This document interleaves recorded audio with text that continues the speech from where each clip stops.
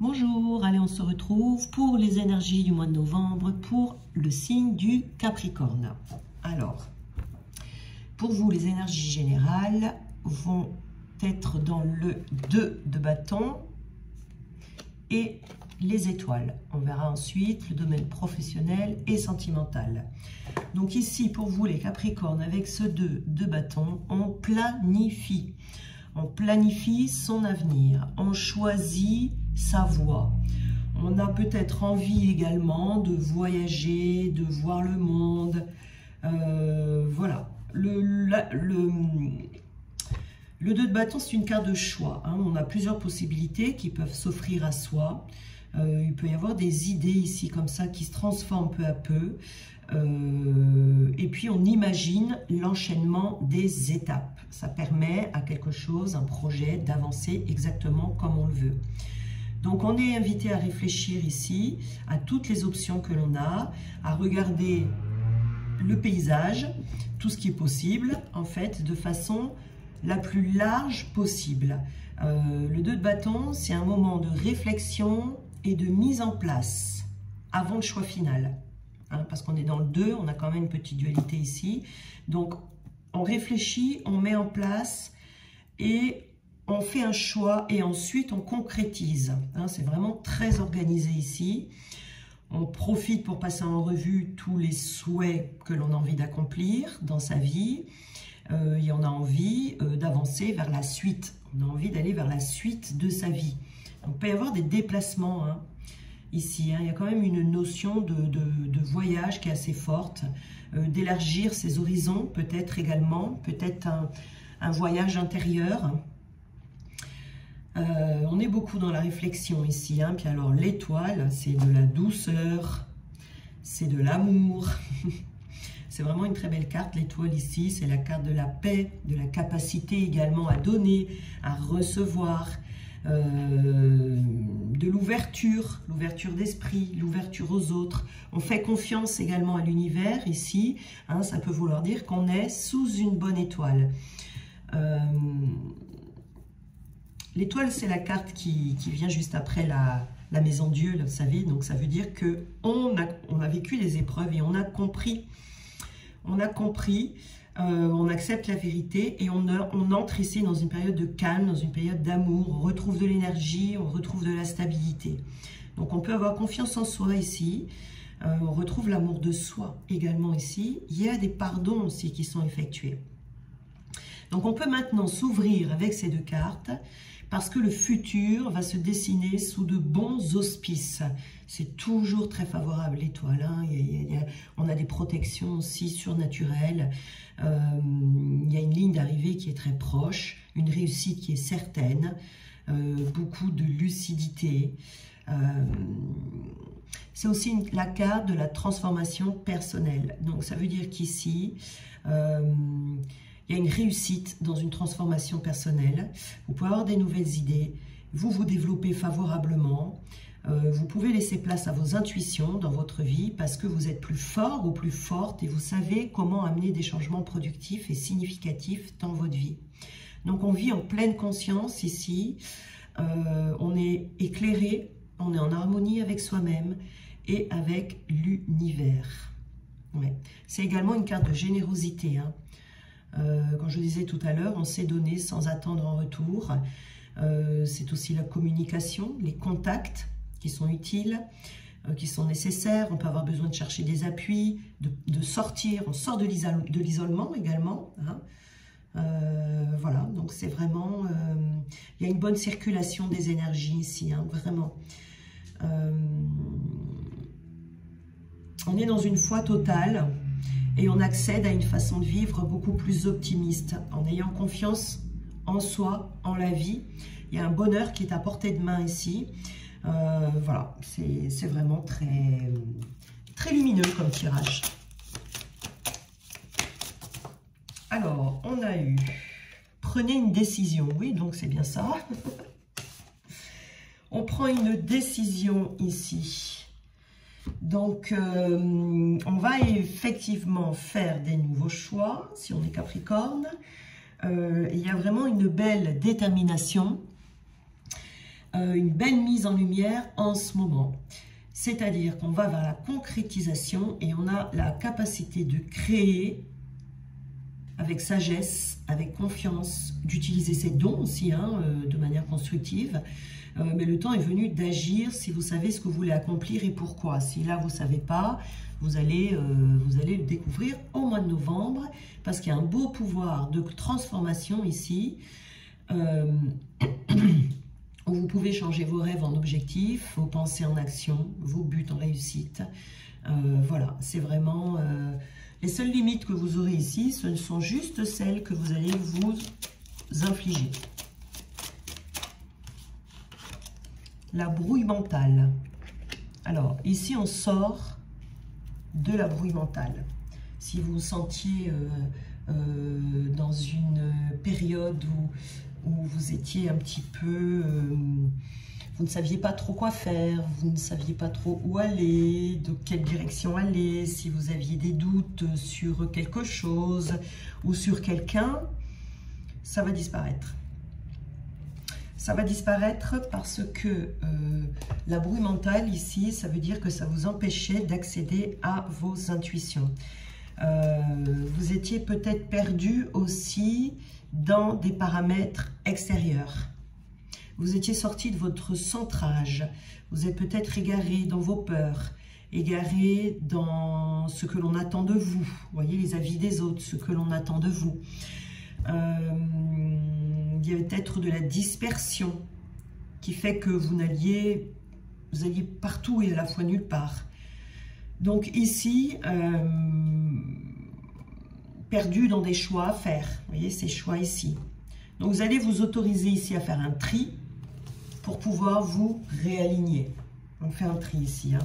voilà, dans ces idées, dans tout ça, pour se réaligner. Et on a la fatalité. Alors, la fatalité, c'est, voilà, je l'ai mis sur l'étoile, parce que c'est une carte d'espoir également, voyez C'est-à-dire qu'on voit la lumière au bout du chemin, on sort du tunnel, du tunnel sombre, du tunnel de la bruit mentale, voyez ici. Euh, on est dans la résilience, on accepte les choses, on pardonne.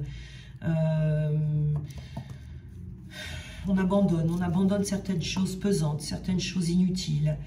Euh, on garde espoir, voyez ici. C'est vraiment très...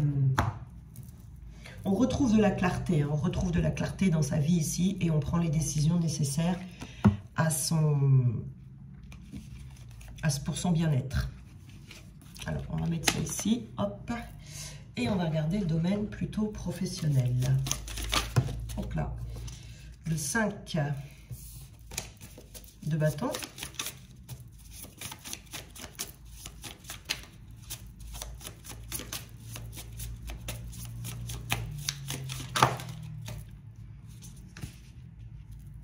La papesse.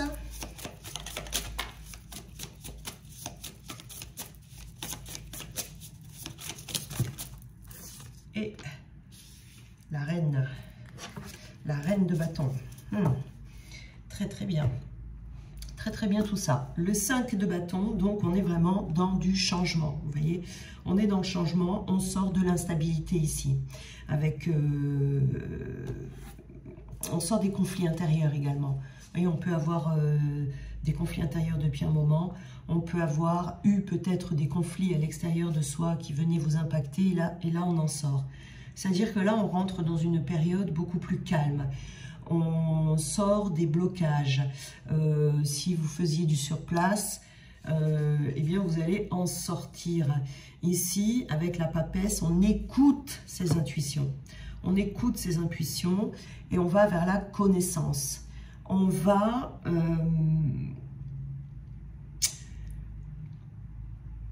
on a peut-être eu ici une certaine réserve sur certaines choses. Vous voyez, avec ce deux de bâton ici, on est quand même sur la réserve. On se demande si ce que l'on fait c'est bien, si on ne se trompe pas de chemin, si on ne s'est pas illusionné, si, vous voyez, on, se pose la question ici. On a besoin de faire euh, une petite pause. Voyez, on est pour s'aligner et pour recevoir euh, sa canalisation en fait, ses messages. euh, pour ne plus se disperser. Donc dans le travail ici, peut-être qu'il y a eu un moment de dispersion euh, qui va passer bien évidemment parce qu'on a avec cette reine ici de bâton, regardez comme elle est contente sur cette photo, elle part à l'aventure cette reine de bâton, elle se réalise et en plus de ça, elle réussit ce qu'elle entreprend. Elle n'a qu'à ouvrir les mains et tout viendra à elle. Parce qu'il y a cet alignement. Vous voyez ici. Parce que dans son esprit, elle sait exactement ce qu'elle veut. Donc il n'y a pu y avoir ici, on va regarder plus loin, mais hum, peut-être on faisait trop de choses à la fois. Oh la joie, la fête. Vous voyez? On rentre dans des énergies de joie ici. On trouve son chemin, on trouve sa voie. Je veux dire, on, a su s'organiser ici, professionnel également. Et on s'amuse. Et on s'amuse dans ce que l'on fait. Vous voyez, on a laissé la rigidité, on a laissé trop de sérieux, on a laissé trop de, de rigidité, de sérieux. On met plus d'insouciance en fait dans ce que l'on fait. Et on s'élève. Il y a une belle élévation. Vous voyez, dans le domaine professionnel, vous lâchez du lest en fait. On ne se prend plus la tête ici.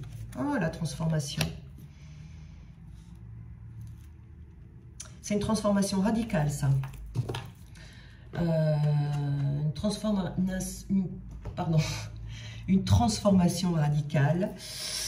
Dans le travail, ici, il y en a certains d'entre vous qui vont changer complètement euh, d'optique, complètement de direction. Euh, c'est une renaissance intérieure qui va vous permettre d'aller vers une nouvelle structure professionnelle. Et il y a quelque chose d'ancien ici qui va se dissoudre. Alors, ce n'est pas forcément qu'on change de travail si on est indépendant, mais euh, on peut changer de manière de faire, ou changer de structure, euh, ou changer des fondations. Vous voyez, on revisite quelque chose ici, euh, on analyse, on se débarrasse de ce qui devient inutile. Peut-être des mauvaises pensées. Si on a plus de pensées de joie, de fête ici, c'est une transformation intérieure. Ça peut être ça, hein. on se structure différemment, on crée du nouveau, mais ça peut être un changement, une transmutation avec une nouvelle, euh, une nouvelle façon de voir les choses. On lâche quelque chose auquel on s'accrochait. Ça peut être du pessimisme, hein, tout simplement. Hein. Vous voyez, l'exploration. Ça demande d'explorer. On est quand même ici dans une... On va vers des nouvelles alliances. Hein, on va rencontrer des nouvelles personnes ici, j'ai mis à l'envers. On va rencontrer des nouvelles personnes qui vont, euh, qui vont vous aider à vous élever, à comprendre les choses et à aller plus loin dans votre travail. Peut-être que, enfin, ce que je vois plutôt ici, c'est quelqu'un qui est dans un travail qui est bloqué, qui ne sait plus comment évoluer, qui ne sait plus comment avancer, qui est un peu perdu et qui ne sait pas trop quel choix faire ici. Donc, c'est pour ça qu'on avait la brouille mentale les choses vont s'éclaircir grâce à cette transformation intérieure et cette exploration que vous allez mener à bien pour être sûr, sans être, en étant, sans être trop exigeant. On lâche une certaine exigence envers soi-même ici, voyez et ces déblocages, ces transformations d'un point de vue professionnel vont vous permettre de vous élever, donc d'avancer, de prendre de l'expansion, de prendre des nouvelles décisions. Vous serez accompagné par la chance parce que vous allez rencontrer des personnes qui vont vous aider justement à aller plus loin. Ça peut être des partenariats hein, pour que vous puissiez aller de l'avant. Hein. Il y a un moment donné, on ne peut plus les faire seuls les choses. On a peut-être besoin d'être accompagné. Euh, vous avez peut-être besoin de développer quelque chose ici. Excusez-moi, je suis encore un petit peu malade. Développer, euh, développer quelque chose ici pour une réussite professionnelle. Et bon, ben, on va, on va nous mettre, ou vous mettre, parce que je ne suis pas Capricorne, on va vous mettre euh, les bonnes personnes sur le chemin. Donc, c'est très bon ici. Hein. Il y a une très, belle, euh, une très belle évolution professionnelle. Et donc, on a Ange de guérison. À ce moment très spécial, tu es baigné dans un halo de lumière dorée vert profond. Accepte cette guérison. Nous, tes anges, nous t'enlaçons avec nos ailes d'amour. Tu es libre pour l'éternité, éternellement pur et pour toujours dans l'abondance. Voyez? Ce que vous allez faire ici, ça va vous amener l'abondance. Mais il fallait une guérison. Hein. La carte de l'étoile, c'est également une guérison. Donc cette guérison va vous apporter justement le fait de pouvoir aller plus loin dans ce que vous faites déjà actuellement. Très très bien. Hop là. Très belles énergies. Alors, le domaine sentimental. Oula, ça a sauté à l'autre bout. Le 2 d'épée. le 5 de pentacle,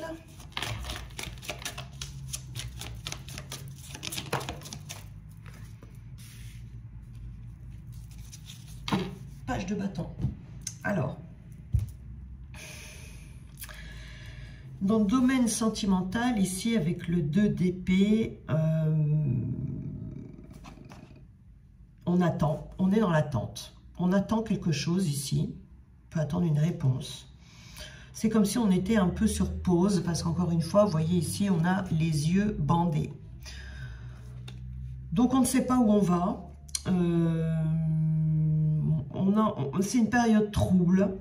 On n'est pas encore prêt à décider ce que l'on veut décider.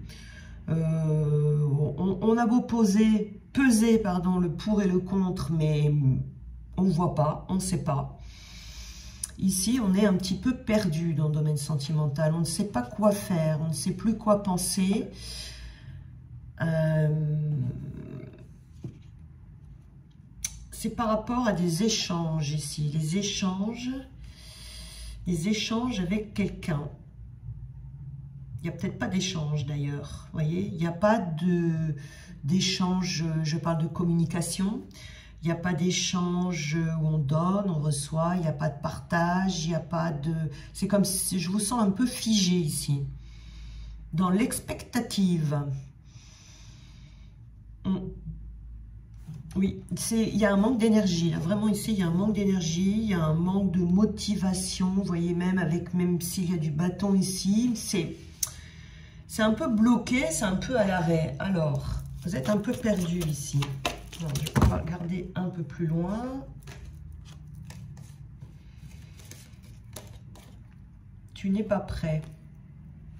Ah, ah peut-être que l'univers ne vous montre rien pour l'instant parce que vous n'êtes pas prêt.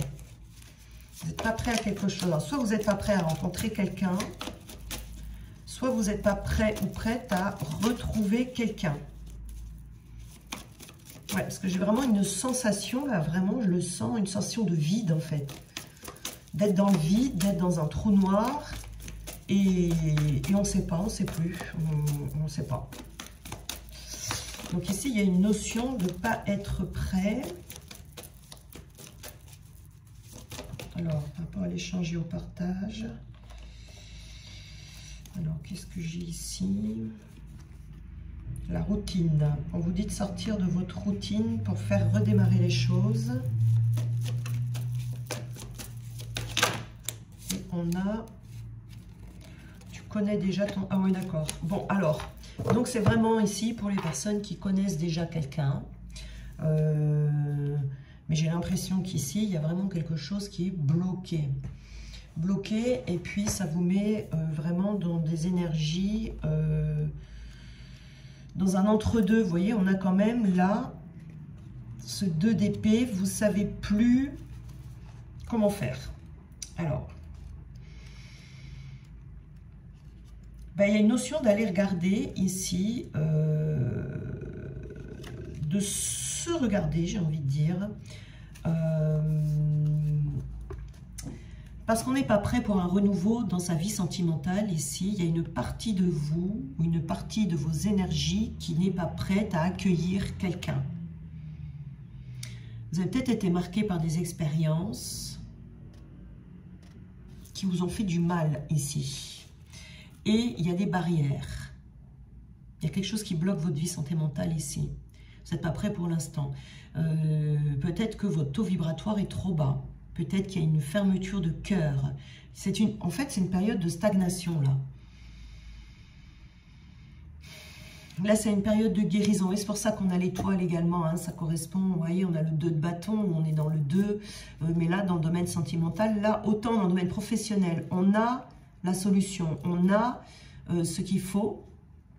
On a pu construire, on a pu s'organiser, on a pu réfléchir. Mais autant dans domaine sentimental, on ne peut pas. Là, on n'y arrive pas. Le 2 d'épée ici, c'est... Je vois rien, quoi je vois rien, j'ai pas de lucidité, j'ai pas d'éclaircissement sur la suite, je sais pas où je vais. Euh, et la carte de, l'étoile, c'est la guérison. Donc vous n'êtes pas prêt, il y a encore des guérisons à faire ici hein, pour sortir de cette stagnation sentimentale. Pour pas répéter les mêmes expériences, euh, c'est se rendre compte qu'il y a une partie de soi, peut-être qui a peur du bonheur, qui a peur de l'engagement, euh, qui n'est pas prêt tout simplement à construire une véritable relation. Donc il faut prendre du temps pour soi ici pour se guérir. Ici, hein. Voilà. Et on était dans le 5 de Pentacle. On a une certaine routine ici, on a besoin de sortir de la routine. Vous avez besoin de donner du peps à votre vie, mais à votre vie seule, pour vous permettre de vivre des nouvelles choses, d'entrer en contact avec vous-même, euh, de sortir de votre zone de confort euh, ou de vous mettre dans des nouvelles énergies, justement, qui vont vous faire sortir de cette attente ou de cette stagnation, ici. Ouais. Il faut clore un chapitre ici de votre vie qui était stagnant pour aller vivre d'autres choses. Hein, pour, vous, pour que vous ayez des, des, des, ressentis euh, d'enthousiasme, de dynamisme, de retrouver un caractère enjoué. Vous voyez, donc il y a un nouveau chapitre comme ça qui va s'ouvrir sur votre vie avec une nouvelle vitalité. C'est comme si vous étiez un peu éteint ou éteinte ici, où il y a une sensation de, de découragement ou une sensation de... Voilà. Donc là, c'est vraiment euh, pour vous encourager à continuer à avancer mais ce qui est à mettre en place ici, vous allez faire en novembre, c'est vraiment redonner une autre dynamique dans votre vie. C'est une décision que vous allez prendre également, vous voyez. Et c'est quelqu'un que vous connaissez déjà. Hein. C'est quelqu'un que vous connaissez déjà et qui, euh, ben, qui n'est certainement pas prêt non plus, parce que si vous n'êtes pas prêt, il n'est pas prêt non plus. Hein. Donc c'est quelqu'un qui est dans votre entourage, plus ou moins proche, euh, avec qui il y a une connexion assez intense, mais, mais les choses sont bloquées. Les choses sont bloquées. Euh, vous êtes dans ce chemin d'avancement où il y a une où il y a des choses compliquées entre vous à régler, où chacun euh, dans sa vie, euh, dans vos vies respectives, mais alors je vais prendre d'autres cartes. Vous voyez, il y a une notion ici de je suis pas prêt.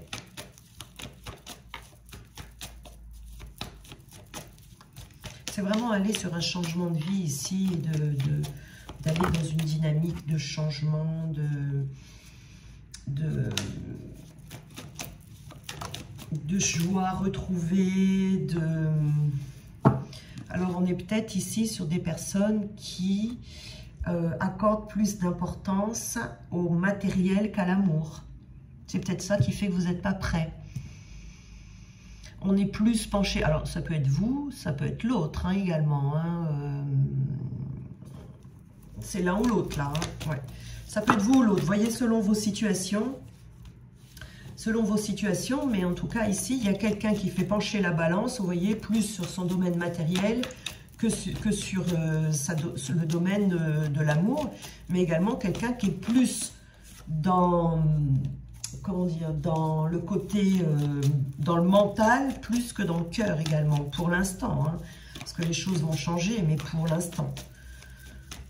Donc forcément, si vous avez quelqu'un en face de vous qui ne bouge pas, euh, ben, ça peut vous mettre le doute. Vous, on vous dit de mettre une croix sur votre routine. Changez les choses, bougez, voyez du monde, amusez-vous, faites des activités, faites tout ce qui vous fait du bien. Euh, vous ne mettez pas de limite non plus là. Hein. Voilà. Voilà. Il y a de la chance ici. Oui, ça, va changer les choses, hein, parce que regardez, on a la chance et les réseaux. Donc, on peut ici avoir quelqu'un qui vous recontacte.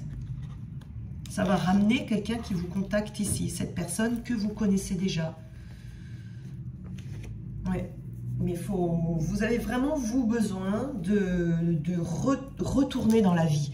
C'est comme si on n'était plus dans la vie, là, vous voyez C'est un manque d'énergie de vie.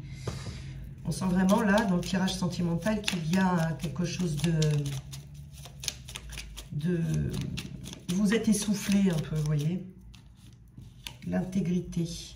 Fais preuve de souplesse, mais sois surtout honnête avec toi-même. Assume tes croyances et tes valeurs et les autres croiront en toi.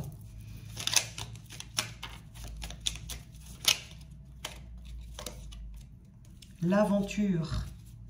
Au lieu de voir la situation qui te préoccupe comme insurmontable, essaye de l'envisager comme une aventure. Explore toutes les possibilités. Il y en a beaucoup plus que tu ne l'imagines. Plutôt que de voir les choses en noir ou en blanc, essaye plutôt de percevoir les couleurs intermédiaires. Voilà, c'est ça. Hein. Je pense que vous êtes... Euh, cette situation sentimentale vous préoccupe et vous avez l'impression que vous n'y arriverez pas. Euh, mais là, on vous dit, voilà, de, de la voir autrement, d'avoir la prise de décision ici, c'est d'avoir un autre regard sur euh, cette situation. On a, alors, on a la gratitude, fais de la gratitude ta nouvelle attitude. Les étoiles vont briller de plus belle sur toi. Oui, on a les étoiles là.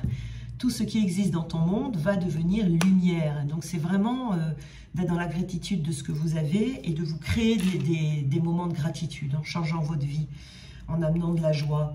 Et on a le pardon aussi. Laisse le passé au passé. Éclaircis ton cœur et ton esprit avec la force du pardon. Il y a peut-être des pardons ici qui ne sont pas terminés et lâcher prise. Cela ne sert à rien de chercher à escalader une montagne pieds nus. Repars à zéro, lâche tes exigences, il y a un chemin plus facile. Quand le moment sera venu, ce nouveau chemin va apparaître. Voilà. C'est vraiment lâcher prise sur, euh, cette situation. Euh, et de rentrer euh, vraiment dans la vie, de vraiment vous créer une vie où vous allez retrouver euh, de la joie, du bonheur, des petits moments de bonheur, des moments de joie comme ça, qui seront très importants et surtout qui vont changer vos vibrations et qui vont vous permettre d'avoir cette chance d'avoir des petites nouvelles sur les réseaux de cette personne que vous connaissez déjà. Voyez? Et c'est vraiment, voilà, c'est la prise de décision pour vous au mois de novembre, que ce soit dans le domaine euh, professionnel ou sentimental, euh, et de vraiment accueillir ces énergies de guérison ici qui sont euh, très favorables pour vous. Hein. voilà. Voilà pour vous les Capricornes, je vous souhaite un très beau mois de novembre et on se retrouve bientôt.